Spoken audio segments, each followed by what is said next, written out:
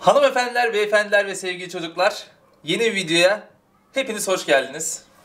Yani şu etlerle ilgili çok bir şey söylememe gerek var mı acaba? Bir bakın, hepsi burada yatıyor. Mis gibi. Of, aman Allah'ım. Aman Allah'ım şunlara bir bakın. Ne yapıyoruz biliyor musunuz? Hani birkaç video önce Gaziantep'te küşleme kebaphan'a gitmiştim. Orada bir terbiyeli küşleme yemiştim.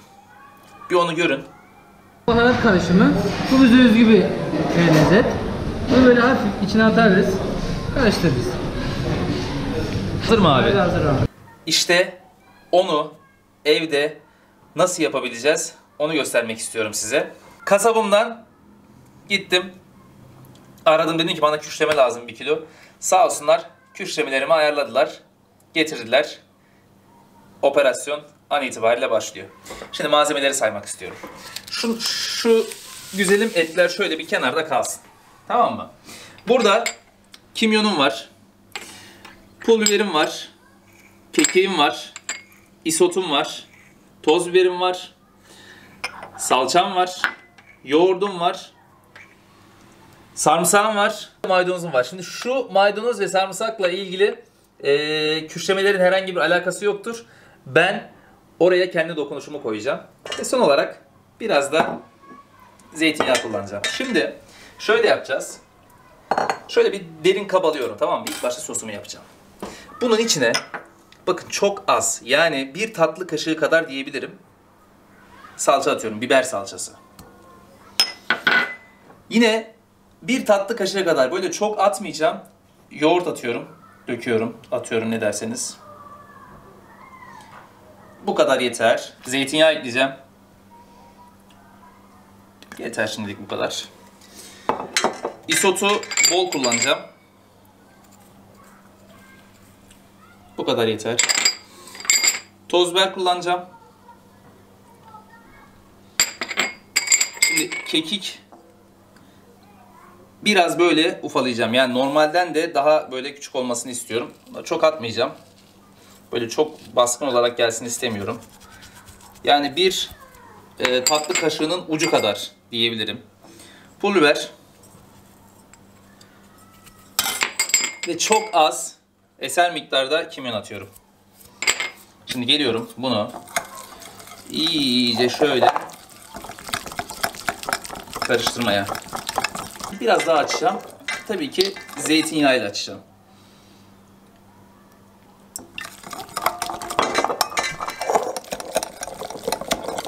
Orada o videoda izlediyseniz onun linkini de sağ üst köşeye bırakıyorum. Oradan bakabilirsiniz. Şimdi orada izlediyseniz o isot e, yani o sos tam böyle siyahtı. Tabii ben biraz salça fazla koydum. Biraz daha isot ekleyeceğim. Şunun hepsini ekleyelim. Kalsın.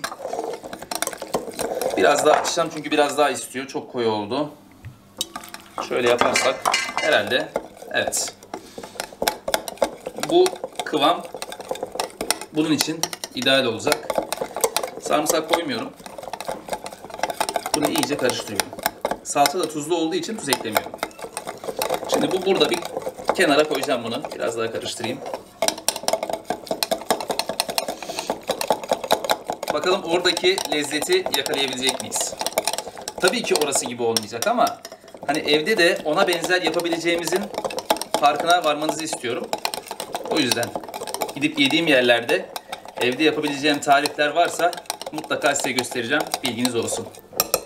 İdealdir. Bu şimdi şurada kalsın. Buraya koyuyorum. Şimdi küşlemeleri şöyle alıyorum. Yani şöyle bir parmak boyutunda şu kadar doğrayacağım. Bakın şu bir, şu iki, şu üç, şu da dört. Şu küçük parça kalsın. Şimdi bakın bir parmak kalın, e, uzunluğunda oldu. Şöyle göstereyim. Yeterlidir bu. Şimdi bunları şu sosun içine atıyorum. Bir tanesi kalsın. Gelelim diğerine.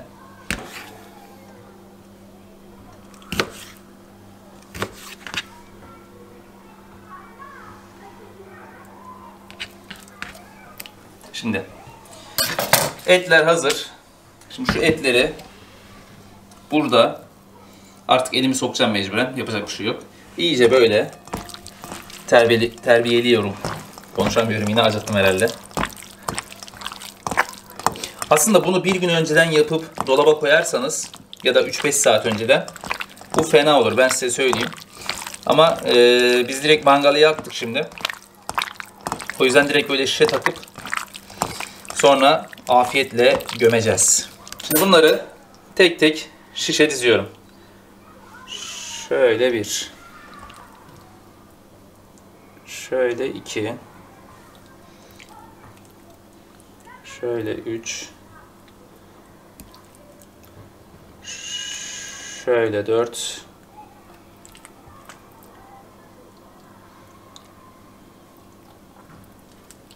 Son bir tane daha dizeceğim. Beş tane.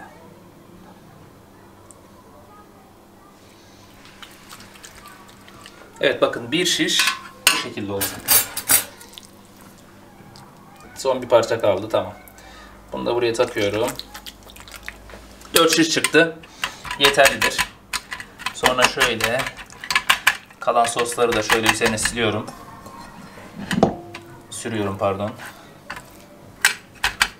Bunlar böyle beklesin. Şimdi size bir ekmek yapacağım.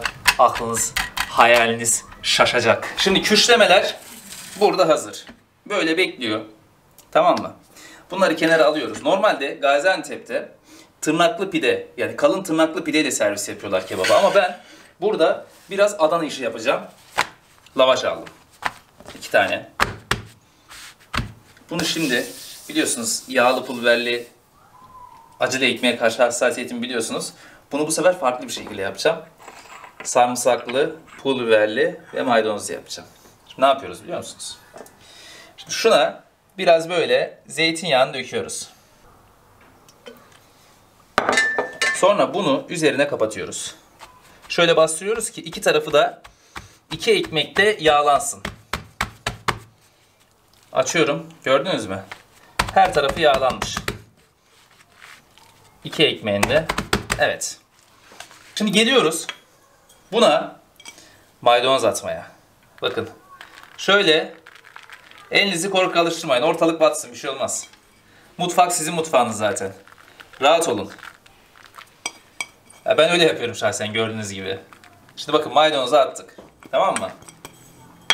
Sonra geliyoruz sarımsağa. Taze sarımsak vardı dün marketten. Aldım. Tam mevsimi. Bakın sarımsakta da elinizi korku kalıştırmayın. Atın gitsin.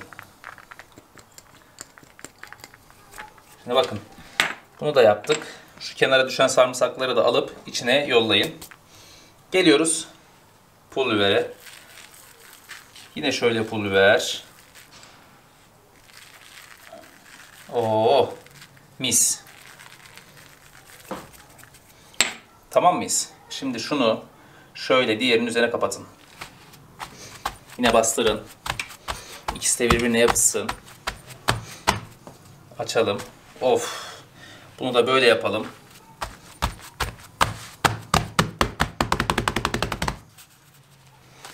Nasıl?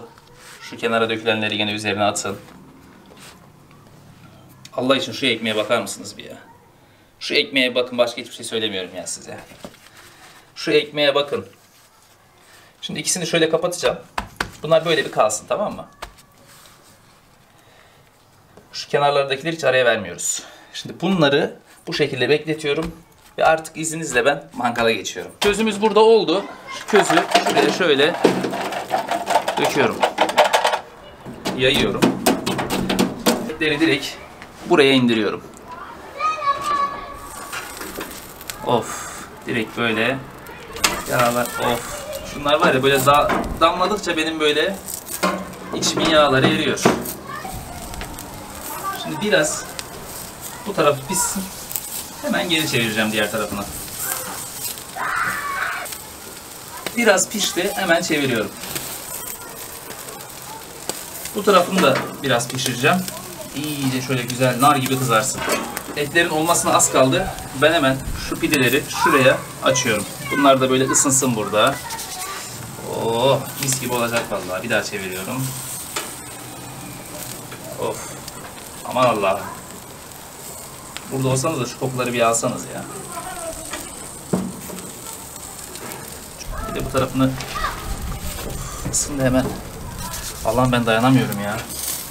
Bir daha çevireyim.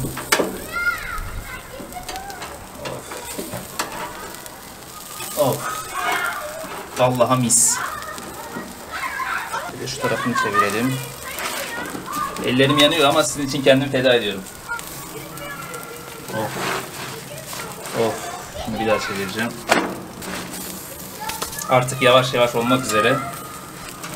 Zaten etler yumuşak ya. Çok pişirmeyeceğim. Dediğim gibi ben şimdi bunları alıyorum. Bakar mısınız şunlara bir ya? Etin içi sulu sulu ya. Bir bakın ya. Allah'a billaha fena. Elim yandı ama önce ekmeğe getirmek istiyorum. Şöyle gösteririm ekmeği.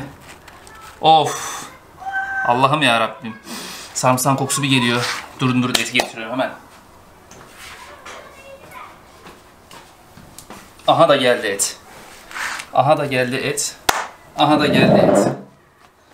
Vallahi kimse kusura bakmasın. Hemen böyle oturuyorum. Of. Yani şu ekmeği artık şu örtünün üzerine koyacağım ne olursa olsun. Şöyle koyuyorum. Örtü kirlensin. Çok mühim değil. Şimdi bu etleri bir çekeceğim. İki tanesini çekeyim diyorum. Siz de görün. Şöyle bir. Şöyle iki. Görüntü olarak oradakinin aynısı olmasa da valla oradakine çok yakın bir görüntü yakaladık. Etten çıkan dumanları, etin altındaki şu suları görüyor musunuz? Aman. Nasıl? Vallahi da billahi da mis. Arkadaşlar izninizle şimdi ya önümde koyunun en lezzetli yeri var. Ben ekmekle başlıyorum ya. Yani kızmayın bana olur mu? Şöyle bir ekmekten bir parça alayım ya. Yani yaparken içim gitti. Ee, bunu yerken ne olacak düşünemiyorum.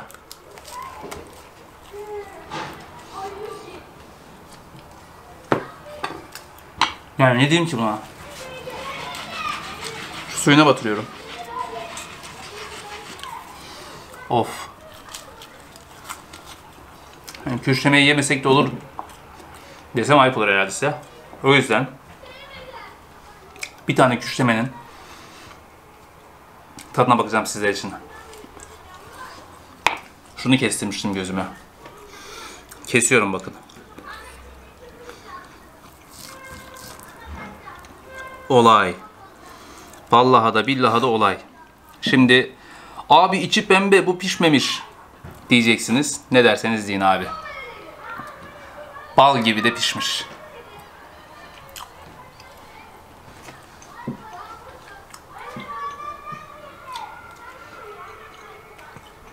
Abi bu kadar yumuşak olacağını düşünmüyordum ya. Bakın tek kelime söyleyeceğim. Terbiye konusunda. Ciddi anlamda efsane olmuş. Cidden çok iyi olmuş. Nedir ya? Ben vallahi çok iyi bir şey yapmışım. Bir tane daha keseyim. Bakalım onun için nasılmış. Şöyle. Bak. Bu daha iyi pişmiş. Hiç pembelik yok. Ama yine sulu sulu. Atıyorum. Abi yani eti ısırdığım zaman su patlıyor ağzımda. Böyle sanki su topu ısırmışım yine. Bir kiraz miraz yersiniz ya yazın. Vişne falan yersiniz ya böyle ısırdığınız zaman su patlar ağzınıza. Vallahi da billahi da aynısı olmuş. Son şunu kesiyorum. Of. Of. Bakın. Of ki ne of. Arkadaşlar. Ben yemeğe devam ediyorum. Kimse kusura bakmasın. Beğendiyseniz beğen butonuna basmayı unutmayın.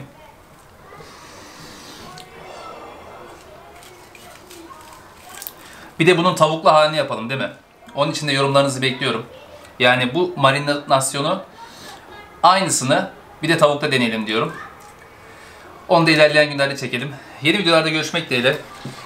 Kendinize iyi bakın. Afiyetle kalın. Hoşça kalın.